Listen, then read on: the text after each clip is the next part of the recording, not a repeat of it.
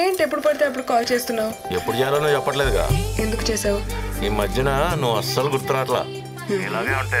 నేను మర్చిపోతాను భయపడి చేశా. మీరు చూసారో లేదో గమనిస్తున్నారో లేదో మనకు మూడు నెలలే మనకు అవుతా. మూడో నెలలు ప్రవేశించింది ఇది. రెండో నెలల తర్వాత మాట్లాడుకుంటాం ఇవన్నీ.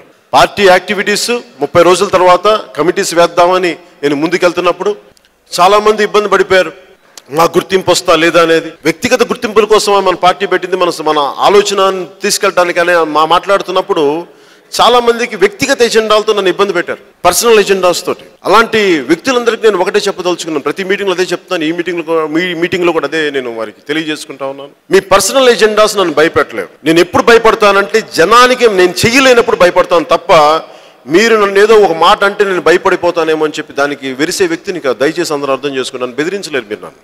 నేను ఆశయాలకి ప్రాణాలు వదిలేసుకోవడానికి వచ్చిన వాడిని పార్టీ పెట్టినప్పుడు సామాన్యుణ్ణి లక్షలాది మంది నన్ను ఇష్టపడే వాళ్ళు ఉండొచ్చేమో కానీ వేలాది లక్షలాది కోట్లు ఉన్న వాళ్ళు కూడా రాజకీయ శక్తి ముందు నాయకుల వ్యవస్థను నడిపే వ్యక్తుల ముందు నీకు వేల కోట్లు ఉండొచ్చు కానీ వాళ్ళు ఒక చిటికేసి నలిపేస్తే మనం నలిగిపోతాం. అలాంటి వాళ్ళందరినీ తట్టుకొని నిలబడున్నాను ఈ రోజు దాకా. నేను చాలా బలంగా నిలబడగలను. ఎందుకంటే నాకు ఆశయ సాధన చాలా ముఖ్యం నాకు. మరి నాలాంటి వ్యక్తిని ఎందుకు నిలబడతానంటే ఎక్కడో చోట మనకున్న పవర్టీ కానీ దారిద్ర్యం కానీ నిరుద్యోగం కానీ పాలసీలు ఒక వన్ సైడెడ్గా ఉండటం ఇవన్నీ ఎక్కడో కరెక్ట్ చేయాలి ఇవన్నీ. ఇవన్నీ దృష్టిలో పెట్టుకుని వచ్చినవాడిని అలాగే జనసేన నాయకులు మున్ముందు మీరు భవిష్యత్తులో జనసేన ద్వారా ప్రజలకు సేవ చేయాలనుకుంటే జనసేనకు ఒక ప్రత్యేక ఒక నిర్దిష్టమైన ఆలోచన ఒక క్రమశిక్షణ ఉంది. దాన్ని మీరు దయచేసి అర్థం చేసుకోండి. ఎందుకంటే జనసేనకి బలం జన సైనికులు. అంటే ఏ పార్టీకి ఏ పార్టీకి ఉన్నారు చెప్పండి భారతదేశంలో? ఒక జనసేనకే ఉన్నారు. అది ఎప్పుడు ఎలక్షన్ ముందు చెప్తే కూడా నమ్మకపోవచ్చు కానీ ఈ రోజు చెప్తే మీకు తెలుస్తుంది ఓడిపోయిన తర్వాత కూర్చొని ఇది మన బలం. ప్రతికూల పరిస్థితుల్లో మనం మనం ఏంటో తెలుసు ప్రతికూల పరిస్థితుల్లో ఇది జనసేన. అందుకని జనసేనలో అండగా ఉందాం ప్రజలకు సేవ చేద్దాం అనుకున్న నాయకులు ప్రతి ఒక్కరికి ఈ వేదిక నుంచి నా విన్నపం అందరూ వ్యక్తిగత ఎజెండాలు మానేసి పార్టీ ఎజెండాలు తీసుకెళ్ళండి. పార్టీ ఎజెండాలు అంటే పవన్ కళ్యాణ్ ఎజెండాలు కాదు ప్రజల ఎజెండాలు. అందుకని దయచేసి అందరూ అంటే నేను అర్థం కాని వ్యక్తిని కాదు. నా ముందు నమస్కారం పెట్టి నా వెనక ఏదో మాట్లాడితే అంత అర్థం చేసుకునే నవివేకినా నేను. నాకు అర్థం కాదా? ఎవరేమనుకుంటున్నారు భరిస్తాను నేను. నా ముందు డ్రామాలు చేసి నా వెనకాల నన్ను పొడి చేస్తానని మాట్లాడుతుంటే నాకు అర్థం కావా? జీవితంలో చాలా చూసి వచ్చిన వాడిని చావు ప్రాణం వదిలేసుకోవడానికి వచ్చిన వాడిని ఇలాంటి వాళ్ళు నాకు ఏం భయపెడతారు నన్ను? అందుకని దయచేసి అందరూ ఇలా వెనకమాలుగా కూర్చోబెట్టి ఆశయాలను ముందుకు తీసుకెళ్ళకుండా తూట్లు పొడి చేద్దాం రెండు సోషల్ మీడియాలో ట్వీట్లు పెట్టేసి ఇలా అయిపోద్దంటే దయచేసి వాళ్ళందరికీ ఏంటంటే అది మీ మిమ్మల్ని మీరు ఇబ్బంది పెట్టుకున్నట్టు తప్ప నాకు ఏమాత్రం ఇబ్బంది ఉండదు. ఎందుకంటే నేను అన్ని వదిలేసి తెగించి వచ్చిన వాడిని నేను. మార్పు నా జీవితం ఆఖరి శ్వాస వరకు ఆ మార్పు కోసం ప్రయత్నం చేస్తాను. ఆ మార్పు ఒక రోజున జనసేన ప్రభుత్వం ఇస్తుందా లేదనేది కాలం నిర్ణయించాలి. దానికోసం నేను సంసిద్ధంగా ఉంటాను. అలాగే మీ అందరికీ కూడా నా విన్నపం చాలా మందికి మన ముఖ్యంగా మన మచిలీపట్నానికి సంబంధించి మూడు నియోజకవర్గాల్లోనే మనం బలంగా పో- పోటీకి నిలబెట్టాం. మిగతాది ఒకటి పొత్తులు రెండు పొత్తులు వెళ్ళిపోయినాయి. ఒకటేమో మనకి అప్లికేషన్ మనకి రిజెక్ట్ కాబడింది ఎలక్షన్ కమిషన్ ద్వారా ఆ రోజు. గుడివాడ అది.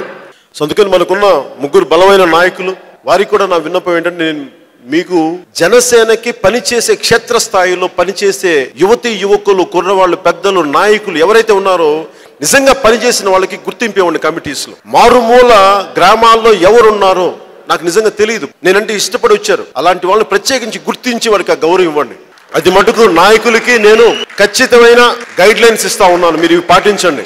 అందుకని ఈ సెప్టెంబర్ వరకు ఈ సెప్టెంబర్ రెండు ఇన్ని వారాలు టైం ఇచ్చాం. ఈ వారాల్లోపు ప్రతి గ్రామంలో మనకి పనిచేసిన మనకి నిలబడి ఉన్న కార్యకర్తల్లో కానీ జన సైనికుల్లో కానీ ఆడపడుచుల్లో కానీ నాయకుల్లో కానీ ఎవరైతే ఉన్నారో వాళ్ళందరినీ ప్రత్యేకించి తీసుకొచ్చి వారికి తగిన విధమైన గౌరవ స్థానాలు ఇప్పించున్నాడు ఎందుకంటే ఏ మనిషి అయినా ఈ రోజున జనసేనకి కోరుకుంటుంది క్షేత్రస్థాయిలో మీకు గౌరవం ఇవ్వడం ఆ గౌరవం లోపించినప్పుడు మీరు ఒకసారి కోఆర్డినేషన్ కమిటీ లాంటి దృష్టి తీసుకొస్తే అవి సవరించుకుందాం. ఇది మన పార్టీ ఇది. తప్పులు ఉండొచ్చు. తప్పులు సవరించుకుందాం.